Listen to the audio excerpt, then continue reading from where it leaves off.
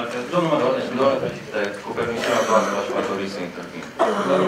Părerea mea că nu se va întâmpla și dacă se va întâmpla, se va întâmpla cu acordul și șa nostru, pentru că suntem un grup prea puternic, suntem 20 de oameni la ora actuală și probabil că se va întâmpla aceasta, dar și cu acordul nostru, nu fără acordul nostru. Poziția pare foarte hotărâtă, dar trebuie să recunoască că au 17 voturi, indiferent cât de dragă le opoziția sau uh, de urâtă. În momentul în care ai 17 voturi la 20, indiferent cum faci, nu poți să bați sau să votezi altfel.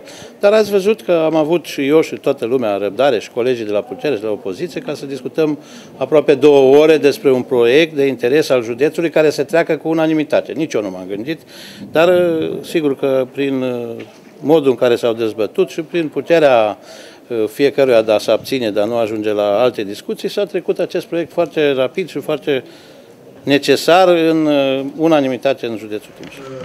Atunci când ați susținut necesitatea acestui